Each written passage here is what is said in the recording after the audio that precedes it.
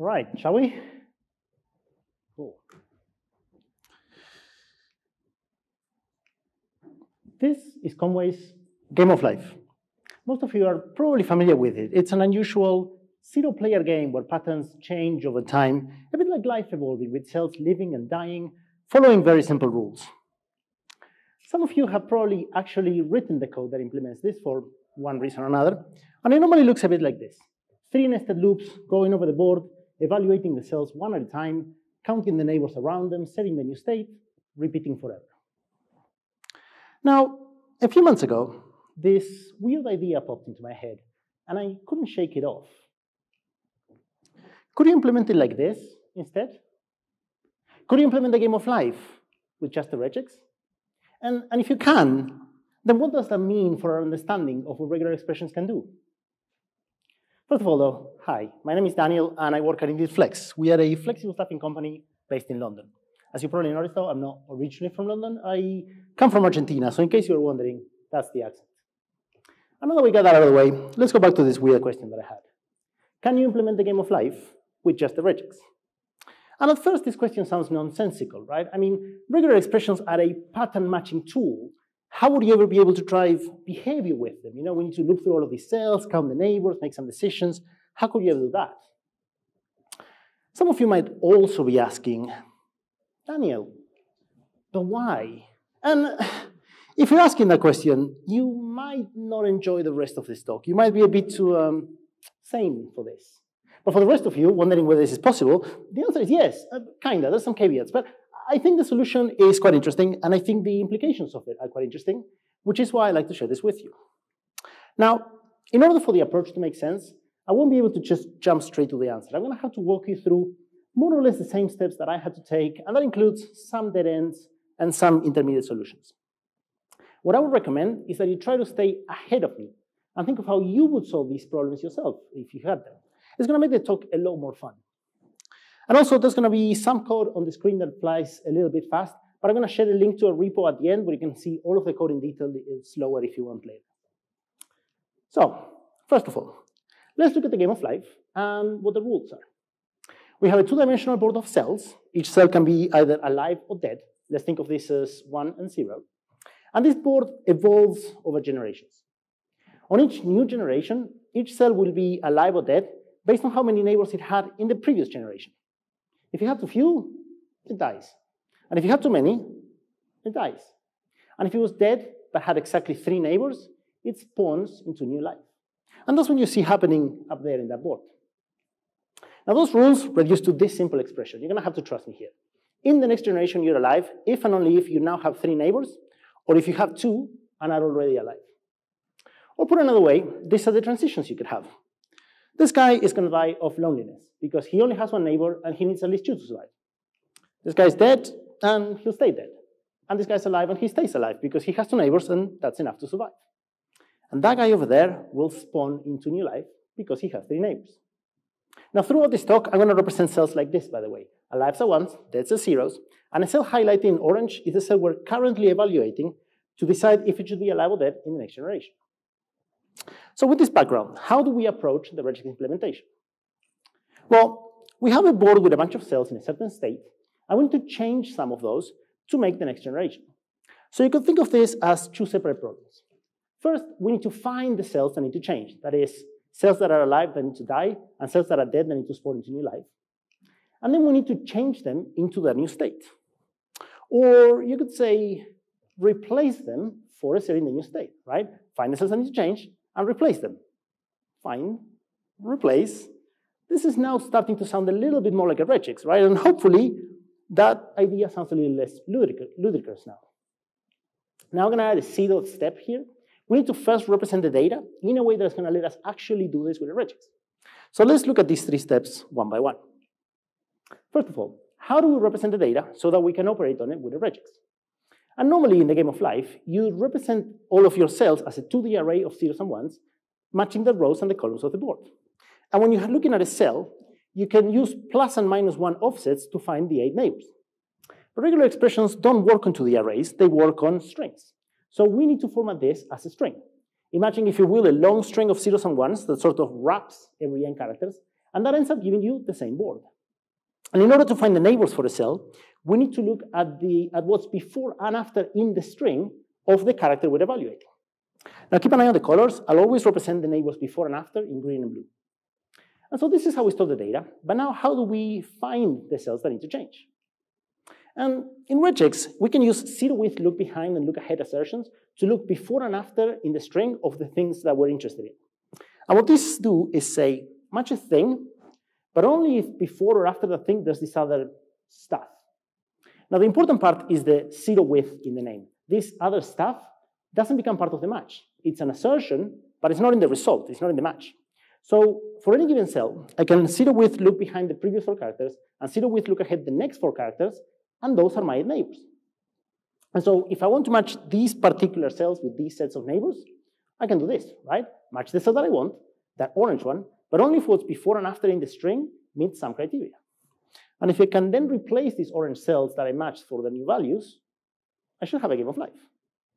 Now, this is worth saying again. The reason this works is that those regexes will only match one character, the one that I have to change. They match based on the surroundings, but they don't match the surroundings. So a regex replace will only replace the one character that I'm looking at. And because it's a regex applying over a whole string, it applies over the whole string at the same time atomically. So I just need to run this replacement once, and that's going to do a whole generation for the board. And so with this idea, I should be done, right? This should do it. But there's one small issue. How do you write a regex that matches a character based on the count of characters around it that are a one, independently of their order? And I couldn't figure that out. But at this point, I had what I thought was a reasonable chance of getting this to work. I thought this approach was sensible. And so I did what I always do, right? I was like, surely I can Google this. Surely somebody will have done this before. Apparently, though, I'm the first person dumb enough to actually try this or at least the first one to live to tell the tale. So I can't Google my way out of this. I'm going to have to figure it out by myself. So again, the immediate problem that we have is how do we find the need to change, which is based on the neighbors, uh, the number of neighbors around them that are ones. So how do I find characters that among the eight characters before and after them have either two or three ones? And of course, in regex, we have the curly braces, and this lets us specify I need X many of these. So I can say very easily, find me two or three ones before this character altogether. But what we need here is, in between the four characters before me and the four characters after me, I need between two and three ones, and I don't care where they are. And as far as I can tell, you can't do this with regex. So this approach wasn't looking promising, and at this point I got stuck for quite a while. But then I realized this problem falls under a very specific category of problems, which is one of my favorites. And that is problems that are hard to solve, but instead of solving them, I can just cheat. Because you see, when you're looking at a cell and its neighbors, you're only looking at nine binary digits. And nine binary digits are not a lot of permutations. I can just brute force this. I can write out all 512 combinations of a cell and its neighbors, and then spell out what would happen in each case. And this is not exactly pretty, but I said game of life with a regex, not with an elegant regex. And importantly, we only care about combinations where the cell has to change. So I can ignore all of the combinations where it stays the same. So of those 512 possible combinations that I had, this takes us down to only 228. And obviously, writing 200 cases like this by hand is not very fun, so I wrote some Ruby code to do it for me. Now, the easiest way to brute force binary numbers in Ruby is to just count and then to_s them into base 2. Here I'm counting how many ones are uh, in the string to see how many neighbors we have, and then I decide whether the cell should change or not. Now, this bit looks suspiciously like game of life code, which is what we're trying to avoid. But we don't ever use this code to actually run the game. We run this once to generate the regex, and then that regex runs the game. So that's fair. And if you run this, this code will print out the 228 combinations of cells and their neighbors that represent the cell state change, either a spawn or a death. So for example, I have this combination, which is a death, I want to find the middle one to turn into a zero. So I need to search for that pattern over there. And I need to do the look ahead and look behind so I only match the one. And now that I have that pattern, all I would need to do is repeat it 228 times, and that should be done. But there's one more problem. Because my board doesn't really look like this thing that I have here on the left. Because I don't just have the nine cells that I'm evaluating. I actually have a board that is much bigger than those nine cells. So the nine characters that I want are not all together in the string. They have this garbage in the middle, that stuff in red and pink, and I don't care about it, so I need to ignore it. Now you'll notice that this board has a width of 10, and I always have seven of these garbage characters. So I can do this and just ignore seven characters. Now that seven is hard-coded. It's actually gonna have to change with the board size, but we'll do that later. That's the easy bit. And now I can take this last rule, duplicate it 200 or so times, concatenate them all with a big OR, and replace that seven with the appropriate number for the board size, and that should match all the cells I need to change. If you put that last expression in the generator code that I showed earlier, you end up generating this ridiculous file. Here you have all the combinations of zeros and ones for all the rows, all the three rows and all the three columns. And we have this code to read it. We read the lines, we put a pipe in the middle to do the OR, we replace the board size with the correct number for a board, and boom. Now we have a regex that'll match every single cell that we need to change. So this solves the find part. The only problem is, I don't know what to replace them with. Because this will find all the cells that need to change, but that is both spawns and deaths, zeros and ones. I need to know which is which. Now the good thing is, I know the cell needs to change because it matched, and there's only two possible values. So if it's now one, it needs to change to a zero and vice versa. But the question is, what do I do here? What do I give to GSUB as a parameter that is going to flip those cells? And here I'm gonna have to take an intermediate step for clarity. Turns out GSUB accepts a string to replace a thing with, or you can give it a block. So in this case, the regex is doing all the heavy lifting, finding me all of the cells that I have to change, and all I'm doing in the block is flipping them. And to my absolute surprise, that worked. This pattern you see here on the left, that's called a glider gun, and it's one of the things that makes the game of life magical. Here's what it should look like, and that is my garbage implementation. It actually works. And oh, by the way, that speed, that's real time. That's how fast it goes. So it's not the fastest thing I've ever seen, but considering the horror of what I'm doing, I'm actually pretty impressed. Now, this is one way to do the thing. There's one more problem. This, this is not regex. This is bullshit. I promised you, game of life with regex. Not mostly regex, but there's some sneaky Ruby in the middle. We need to do this thing with regex too. But as I said before, I needed to take that intermediate step for clarity because so far we've basically been doing fairly standard regex work, you know, the kind of thing that you do day to day. But hold on to your socks because the next bit is where it gets wild. Remember the problem I have is that given a match cell, I don't know whether to replace it with a one or a zero. And we don't yet have an obvious way of how to do this with a regex. Now you might think that you can do this in two stages. Have one regex with all the combinations that have a one in the middle, so all the deaths, and then another one with all the zeros in the middle, all the spawns. And then you can match all the live ones that need to die, replace them for zeros, then match the others, replace them for ones, and you're done. But you can't do that. You need to do all of this in a single pass atomically, and this is partly why the regex approach is magic, because it gives me that for free. Now to explain why that is, the standard implementation of Game of Life starts by making a new board on each generation, and then filling it based on the data of the previous generation. And that's because if you modify the board as you go, you're going to modify the neighbors of cells that you haven't evaluated yet, and that's going to modify their outcome. In this example, for example, those three cells highlighted in purple will die of loneliness. But the yellow one has three neighbors, so it will spawn new life.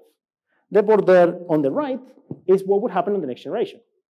But if you do this in two stages, first deaths, then spawns, you first kill those three cells, then you have no neighbors left and nothing gets spawned. This doesn't work. And obviously you have the same problem in reverse if you first do spawns and then deaths. You, you can't do this. So back to the problem. We match all the cells need to change, and I need to pass something to GSUB that is going to say what to change them to. That's going to re uh, resolve to a zero for all the ones and to a one for all the zeros. And to explain how to do this, I need to take a little detour and talk about named captures. Now, most of you probably know that when you're matching in a regex, you can capture a chunk of the match and then use it in the replacement as a back reference. Let's say I have this phone number over here and I want to format it nicely like that. I can match the three different parts, capture them with those parentheses, and then replace them, making references to those three captures by number, one, two, and three. And if your regex is super simple, this is fine. But it's common to have tons of parentheses in a regex, and that makes it really, really hard to keep track of which sets of parentheses is which capture number. And when you have that problem, you can name your captures like this. And then you can call them by name when you replace them using that backslash, backslash k syntax. And this makes it way easier to know what's going on. And this is what we call name captures. And you probably knew about these. But here's the bonkers part that I didn't think wasn't was going to work. First of all, you can do captures inside of your look aheads and look behinds. So you're not matching that part, you're just asserting that it's there. But if it is there, you can capture a bit and then use it later for the replacement. Now, the real bonkers bit, which I didn't think was going to work, I was just sure this wasn't going to work, is you can declare the same name for a capture multiple times in your regex. And if you have an OR, whichever side of the OR matched kind of wins, and that's the value for your capture. Now, if you go back to something closer to our regex before, we were doing something like this. This thing is going to match a 1, but only if it's preceded by three zeros. Now, I'm not matching the zeros, but I can capture one of them and name it. Let's name it replace.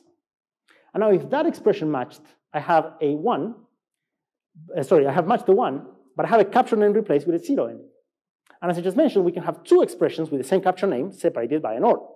So only one of these two will match, and whichever one matches, that's the value of the replace capture. And I mean, this is nuts. I was 95% sure this wasn't going to work. That regex up there is going to match one of two things, the 1 at the end of 0001, or the 0 at the end of 1010. It matches just that final one or that final 0, and only if they have the prefix. But if the 1 matched, I have a replace capture that holds a zero, and if the zero match, my capture holds a one. You see what happened there?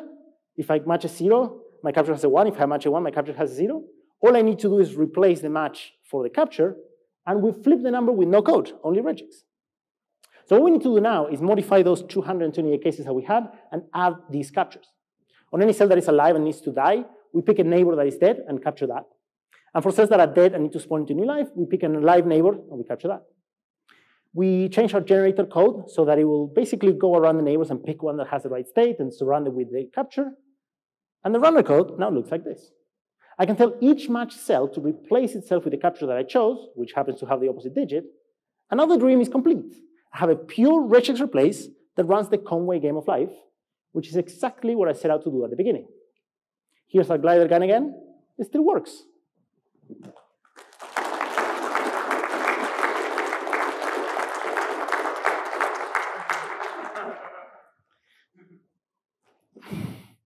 Now, I was tempted as it is to leave it there. Um, there's a little catch.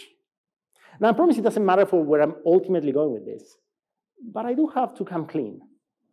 That emulation isn't perfect.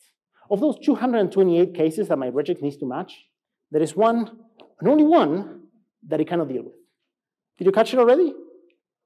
This guy needs to die of overcrowding because he's surrounded in all directions. But I need to capture a zero to be able to kill him, and there are no zeros around him. So I can't. This one guy won't die in my implementation. And I've, I've tried everything, negative look ahead and look behind, negative character classes, saying not zero instead of saying one, then capturing the zero instead of not zero, trying to capture a zero in that interline garbage I'm ignoring. Nothing works. I need to grab to the zero, and the zero just isn't there. I, there's nothing I can grab. So as an aside, please, if you can think of any way to do this, please tell me because it's killing me. But as I said, I think this doesn't invalidate what I want to get at. So I'd like to go back to an earlier question. Why? Why am I even talking about any of this? And what I said earlier is true. I mean, this is a question that popped up in my head and just couldn't get rid of it until I had solved it. But there's a second side to this story because it turns out that the game of life is Turing complete. And that's not what you'd expect for a system that is entirely defined by this one simple rule, but it is. Now, as a quick reminder of what that means and oversimplifying a bit, this means that any program you can write in any language, you can also write as a game of life pattern if you wanted to. And you can see a beautiful example here. That's the game of life running in game of life. And this is an actual full Turing machine running in game of life. And this is something I love. I love finding things that you wouldn't expect would be Turing complete. Um, turns out that they are. I could have an entire talk on just that. It's one of my favorite topics. So when I was thinking of this, when I was thinking whether you can run the game of life with regex, I was thinking of that. Because if the game of life is Turing complete, and I can run it with a regex, does that mean regular expressions are Turing complete? Because that would be pretty nuts. And so I'm kind of using the game of life here as a proxy for Turing completeness because I thought I could emulate it with a regex. And as we saw earlier, that doesn't quite work. But there's a more direct way. What if I just implement a Turing machine directly with regex? Now, as a quick reminder slash intro to what Turing machines are, they're a theoretical machine that can do any computation that any other computer can do. They have an infinite tape of data, a head that can read and write that tape uh, and that data and move the tape around, and a state machine that, given what data is in the tape and what state it's in, decides what to write in the tape, whether to move it left or right, and what state to jump to. And just this simple thing can run any program that you could write in any language. Now, to implement one of these with regex, we're going to use the same idea as before.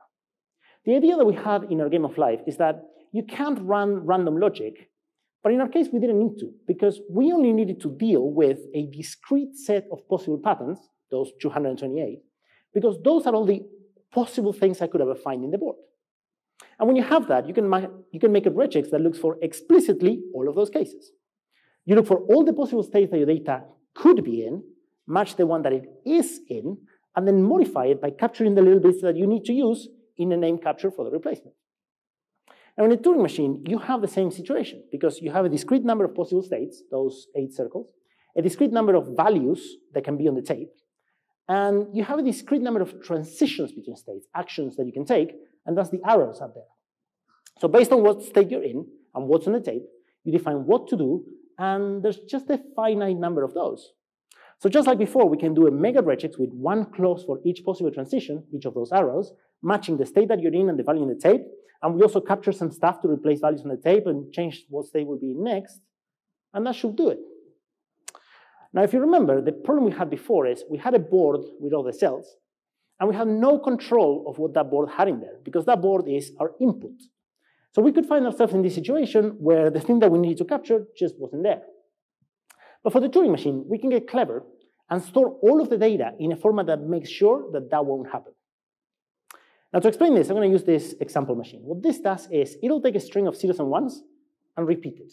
You end up with the same input twice. It has eight states, those circles, and it can handle six input characters in the tape. Zero, one, and four letters that we're going to give a special meaning to. And so, just like before, let's see how we represent this data. Let's imagine that this is our tape. This has the input data in it, the string of zeros and ones between the two Bs. Those two Bs are like end markers. To run a Turing machine, we need to keep track of three things. First, the data on the tape, that's there. Next, we need to know where our head is. What's the tape position that we're currently reading and writing? So let's add those special hashes to do that. That first B, that's what we're reading next. And finally, we need to keep track of which state we're currently in. Let's say we're in state Q1, we put that in there too. And now we have all the information that we need for the state machine. We know what state we're in, where we're on tape, and what data is in the tape. Now let's say we have this transition rule. This is a sort of like Turing machine definition language that I kind of made up.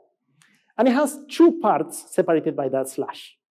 On the left, what condition we look for, and on the right, what to do if we find ourselves in that condition. What that one says is if we're in state Q1 and the tape has a B, write a C, move right, and change to state Q2.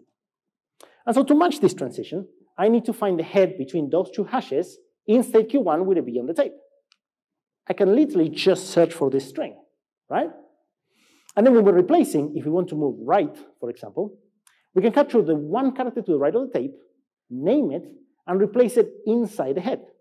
And then replace the character before the head with the character that we would have written in the tape. Let's say we replace the B for a C. Now we've written a C to the tape, and we move the head to the right one position. But we have one more problem. We need to change the state to Q2. Where does that 2 come from? We don't have that anywhere in the string. So just like in Game of Life, we can't capture it to then do the replace.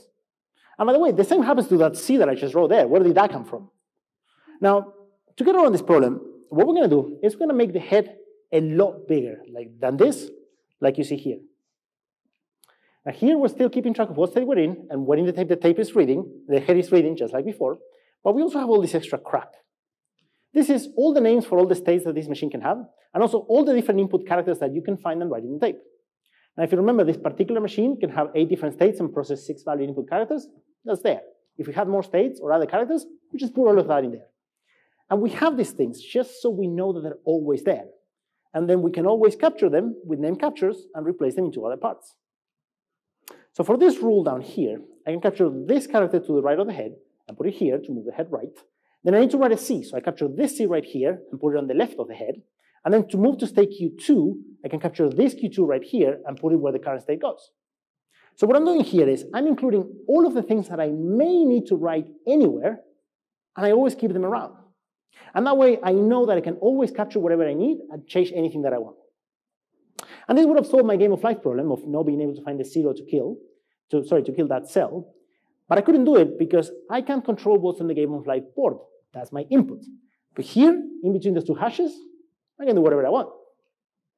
Now, to complete the idea, this is the whole program for that state machine. These are all the transitions that you can have. And we can write a little bit of Ruby code that turns this program into another mega regex following the same idea as before. Each of these lines will turn into one clause in the giant set of ors in my regex, matching the head in that respective state with that particular character in the tape. And it'll also capture all of the right parts of the head on the tape for the replace to do its thing. That's the whole program in regex form. And you can see those captures, new left, new cursor, new right, new state, right? Those are the bit that, bits that in the next program step are going to be to the left and under the head and to the right of the head, and what state will be in next. So this whole thing looks for all of the possible contexts the head could have based on all of its possible states and all of the possible characters in the tape, and then it'll replace that head and tape with the values showing the new state of the whole thing. And the code to execute this regex to the machine is what I keep promising, nothing but that regex. And it works. Here you can see the head moving back and forth with the tape, changing the values. And once it finishes, you're going to see that the tape has the same input that we had at the beginning, but repeated twice. So we can implement a Turing machine using only regex. Now going back to my original question, does that mean regular expressions are Turing complete? And well, technically, formally, academically, very, very no. And I want to make that clear. I, am not claiming that they are, right? Like, first of all, in all the code that we saw, we had a loop around that regex. And that loop is pulling a lot of weight. Regular expressions can't loop at all, and you really need to loop if you want to do any computation. And also, it kind of depends what you mean by regular expressions. In the formal definition of regular languages, regular expressions can do all those beautiful things that we're used to doing day to day with the looking back and forth and the back references and the name captures. All of that is technically not a regular expression. So officially, no, they're not Turing complete. But given that with just a dumb loop around them, they can almost run a game of life, which is Turing complete, and they can absolutely run a Turing machine. They kind of are. Like, for practical purposes, the regex that you use day to day can absolutely emulate computation. Now, I don't think there's any actual practical purpose for this, but I also thought that was kind of mind blowing. I did not expect to get to this answer when I started down this path. And like most weird things that I find out there, well, I just thought I'd share that with you. So I hope you enjoyed that little crazy tour, and thank you.